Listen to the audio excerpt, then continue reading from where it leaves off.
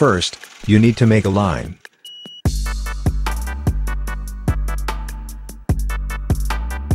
The next step is, you need to set up view animation. You don't need to follow my step here. Because, I believe, you guys can make your own.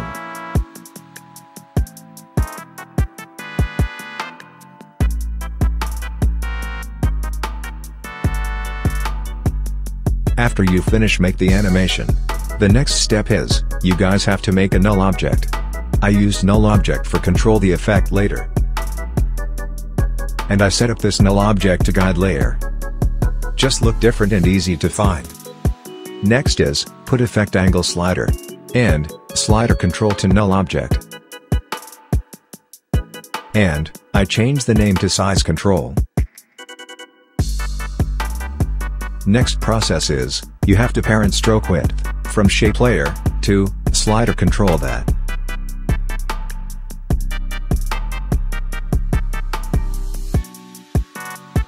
After that, I place the shape to the left using an anchor point.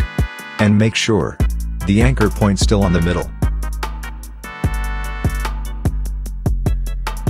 Next process is, you have to parent rotation, from shape layer, to, rotation layer null object. Now, you can follow me here. Please pay attention to the way I set the expression.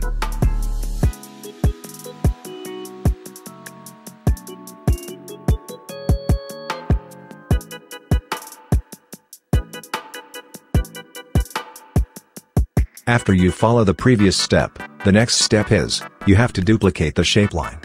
And you guys try turning the angle control and see what happens. And here, I will turn the angle control back to its default position, and I change the length for the second shape line.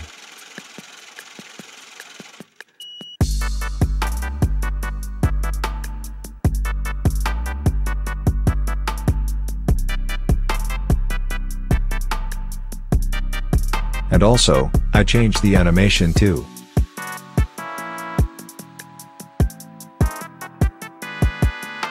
After everything is done, you copy the two shape lines, and remember, you have to copy, don't duplicate it. And congratulations, you made it something cool. Ha ha ha ha ha ha ha. And, I select all the shape lines, and parent the null object.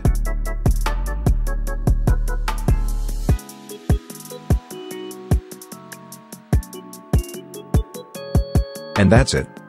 You made it line burst animation.